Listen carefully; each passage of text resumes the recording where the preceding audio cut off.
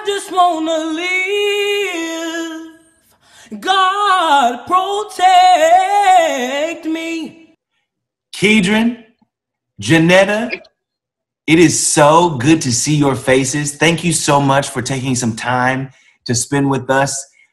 Keedron, I have to tell you first, the song that you posted, it touched me in a way I wasn't prepared for. It was like you put into words the thing that I think so many people across this country are feeling right now. And you did it in such a way that cut through all of the other noise. It was an incredible thing to see. Thank you so much. Let's first start from the beginning. Where did the song I mean, how did how did this happen? Well, um, on Monday, my mom she gave me the lyrics to the song, and she gave me the tone and she taught me it. And I went upstairs. She told me to go upstairs and do devotion and pray over it. And so I went upstairs and I prayed and I prayed and I came down back. I was like, I'm ready.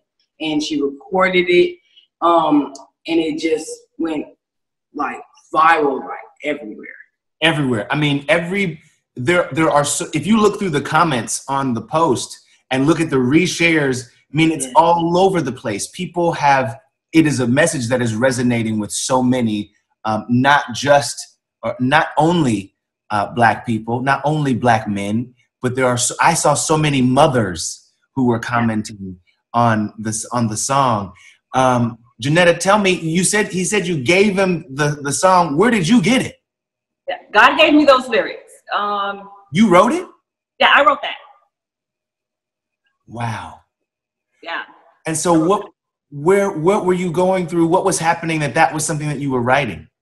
Um just in this season that we're in, you know, in, in this what we're facing today, um, I always pray for Keedron. I, I have a black husband, I have black brothers, and you know, my husband calls me a prayer warrior. I'm always in my prayer closet yeah. and asking God, like, God, give me something, you know, till I can cover cover my my my, my family in prayer. And I'm I'm just was meditating on Monday, and the Holy Spirit gave me those words, and I knew that it would be beneficial for Keedron. Like, you need to hear this. I need you to get this in your spirit mm-hmm. so that you can understand the world that you are in a little bit better. And the part about him doing the devotion, go and now allow the Holy Spirit to help you to receive it because just knowing that and then also just like how do I respond? I, he needed the help of God to mm-hmm. help him in his heart, you know, so that he don't act out in anger you know, that he can do it in love. Just, I, I just want to get my message out in love. I don't want to, to, you know, to, to do it violently. If only I can say something. And Keedron has a gift of singing. Um, the anointing is all over him. Uh, all over him. It is, yes, brother. Yes. It is. It is. Uh, it is dripping off of your skin. It's a glow on you right now. There's a. You, so much. Your voice cuts through. It's like uh, the, the way I described it before, I was talking to my mom about this, and it was like I thought that it was a song that we had all heard before. You know, mm. I thought that the way that you the way that you were able to sing it, the words that you wrote for him, it was like we'd all heard this song before because it was our own plea, mm-hmm. right? Um, and so, what for you has been how how are you taking the response? So many people have responded. So many people have shared it. A lot of celebrities. Yes. Yes. Yes. yes. Oh, yes. Who are oh, you most surprised by? Um, when we saw Miss Tina, Miss Tina Lawson, when we saw her post, it was like, whoa. And you know, like that who don't know. But, you know, I, I don't. It, it, it was really surprising. Um, for her. But I, I really wouldn't want to just single any person because everybody that um, it reached and they received the message, everybody, whether you're a celebrity or not, um, I'm just happy that it was received in such a manner you know, and that's where that's that's that's what we want to do. We just want to we're, we're, God's messengers, and we pray that the Holy Spirit will, will lead and, and will work through us, and whatever is released, you know, that, that it will be received for the people to take it and, and be blessed by it. I, I, totally understand, but I'm gonna also tell you something. When Miss Tina know, um, when Beyonce's mama, yes, yes, tips her hat, you know you onto something. You know what I mean? Yes, I was like, okay. Wow. Incredible thing. Okay, so wait, so this is is interesting because I also found out that that you this is not your first um uh uh um this is not your first time in the in the spotlight, Keedron. You are also on Little Big Shots singing. Yes, sir. Back, I went to record it in Los Angeles in January, uh-huh. and it aired um, last Sunday um, on NBC, and it was amazing experience. What was that like for you? I mean, to be standing on that stage with an audience singing, you know what I mean? What did that feel like for you? Um, I've always wanted to go on little big shots. Um, I it was people always ask me, was I nervous?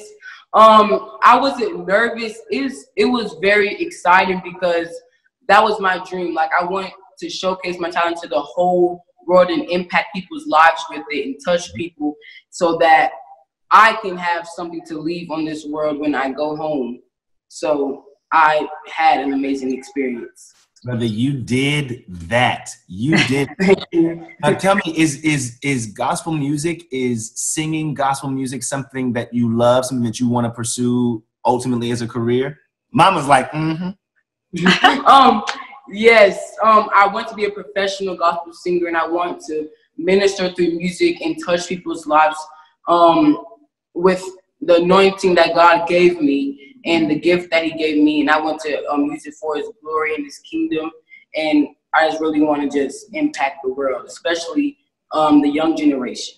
Yeah.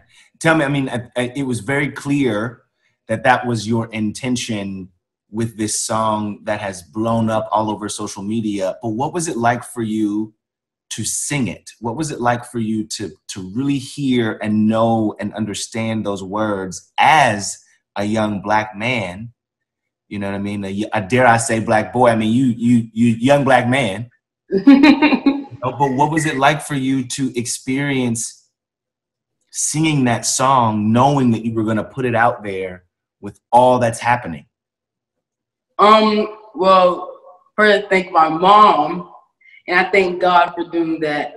Um, I the well, what I think is that it, in this particular time, it was the right time to post it and share to the world because um, all this, um, the racial profiling that's going on and um, being black in America, I think that it was the right time to post it. And I really needed to get that message out to everybody, especially um, my kind and the black men, black boys. Um, well, not just black men, but all black people mm-hmm. um, really needed to hear that because I think that they're going through the same thing um, that I'm feeling. So, yeah, I mean, it, we're it's like a collective mourning, is what is is kind of what it feels like. Um, as a mom of a young black man. Now, why would you have to ask this type of emotional question? Because oh I'm, I'm, you know i mean? You you you were able to capture you were able to capture exactly what we are all thinking but as as you listen to him singing this song can't imagine that wasn't an emotional experience for you. Yeah uh again like as those words came to me i always have Keedron in mind. You know this is this is this is my son you know uh, I, I, I carried this fella and I, I can't imagine as a mom having to bury my son you know. Um, and I always, I'm, I'm, always thinking about him, praying for him. God help him to understand um, what's going on and, and give him wisdom. So as I'm hearing Keedron sing these lyrics, um, and even, you know, to off, but just before we got on the call, I got the anointing oil and I prayed for Keedron. And I began to, I began to, to, to pray for him because the feeling that I get is, son, I need you to know what's going on. I don't want you to walk around in this world thinking that racism doesn't exist, you know, and I don't want, I talk about it. I mean, I talk about it straight up. I don't sugarcoat it. It's real because it is real. Um, and I want him awareness. Even the Bible says, you know, that the people perish because of lack of knowledge. I want Keedron to know what he is up against. There, it, there is an enemy up against him.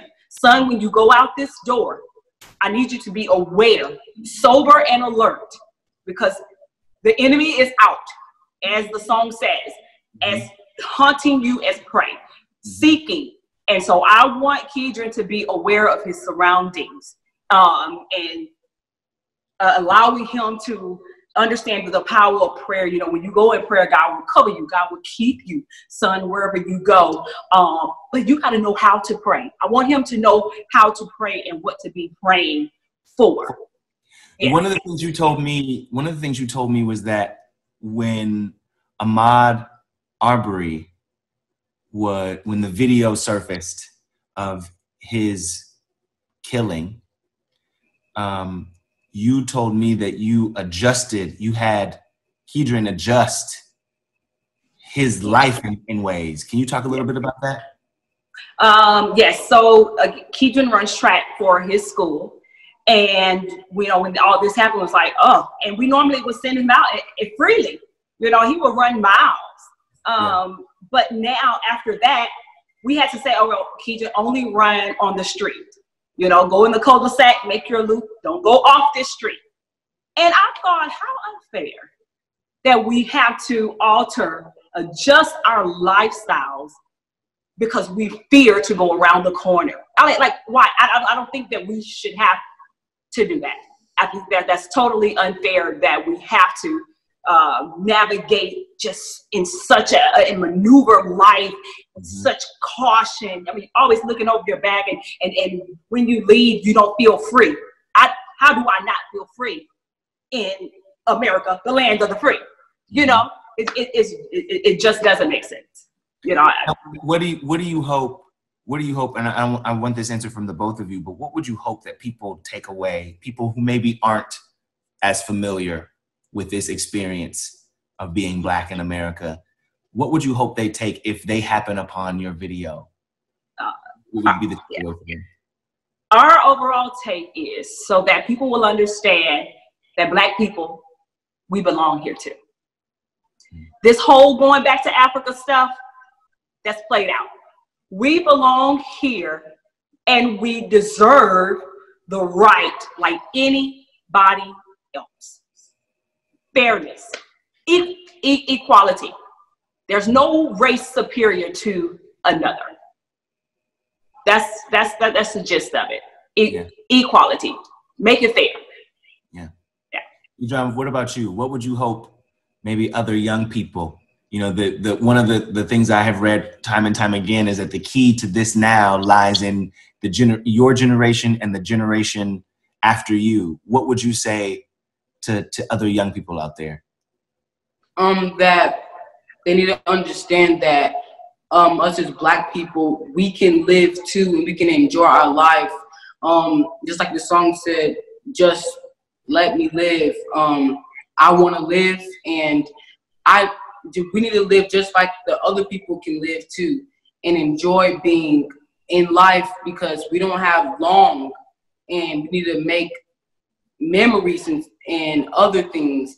And we can't live if we have all those of fears and afraid of going. We can't go outside and just enjoy life because we're afraid or, or something's going to happen to us. So i feel like that they need to understand that we could live too. Hmm.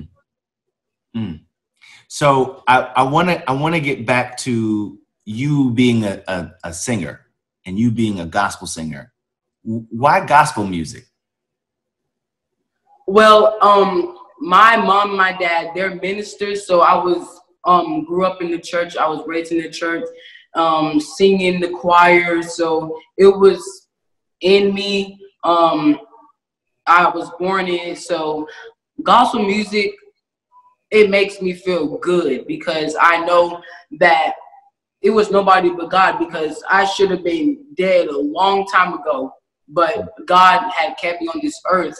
Um, so gospel music is really important in my life because it was on God that brought me here. Um, so When you say should have been gone a long time ago, what you mean?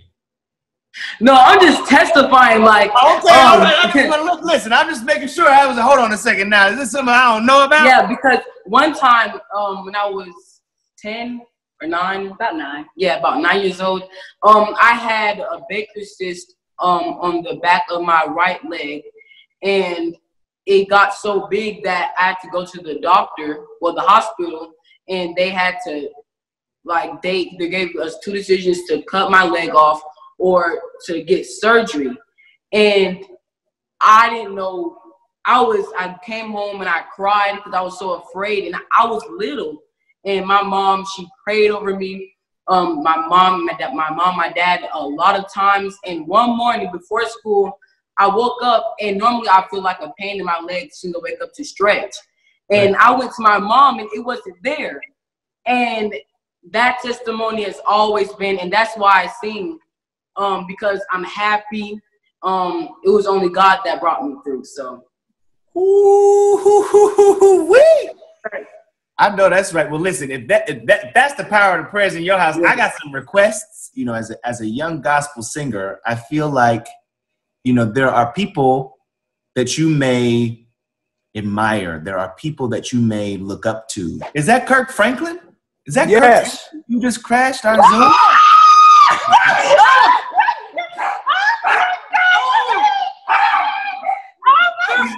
Is that, do y'all know who Kirk Franklin is? well, you can't scare us like that. yo, yo, let me tell you something. The song, his voice, this moment, thank this you is so much. incredible. This is incredible. Young boy, ah, young boy, you cold. thank you Young boy, you cold, you cold, you cold. Listen, I want to tell you, um, I was adopted. I didn't have a father. I was raised without a strong black presence, made a lot of mistakes. And to see the next generation like your beautiful son. What's your name, youngin? Um, my name is Keedron Bryant. Keedron, Keedron. Yes, sir. That's sir. fresh. That's fresh.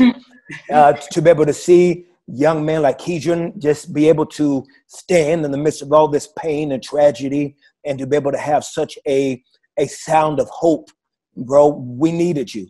We needed you. We, we, we, you are right on time, man. God is using you right on time. And as a matter of fact, man, I just want people to know. As a matter of fact, uh, Timberland and uh, Swizz Beatz hit me. I'm going to do uh, the versus battle this Sunday with uh, Fred Hammond. And when I get on there, we're going to give you a shout out. I'm gonna let everybody know. As a matter of fact, if you if you look at the ad for the battle, we're using your voice. We're Thank using you. your voice, and so so man, it's like your voice is just impacted. I need for you to know, Keishan, you have the ability to make a difference. All it takes is one light, a room. It can be a huge room of darkness. One little match can change the temperature and the spirit of that room. Keedron, you are that little match, bro. And Thank so, you. Brother, Thank you, you. have you have given us light, and we needed that. We needed you, Mama. Thank you for your pen.